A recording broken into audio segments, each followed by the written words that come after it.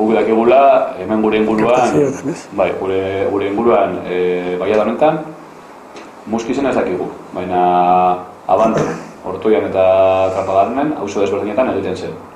E, barakaldoko hauzoetan ere egiten zen, gure mama barakaldokoa da eta berakoa daki kantua, eta lutsanan, lutsanako eskolan egiten zuen. Eta gero, e, ez dugu kontakturik, baina irakurri dugu interneten, ba, enkarterrietan, e, ba, mendebaldean ez, baina hemen ekialdean, zaila, zaila gordesola eta goina zen, egiten zen. Orduan, e, pixka bat eskualdeontako itura bat zen. Gero egon da jendea, hemen herrian, ba, esaten duna, e, ba, gian, jatorriz burjosekoa eta burjosen Ernesto Lendas egiten direla eskualde batzuetan.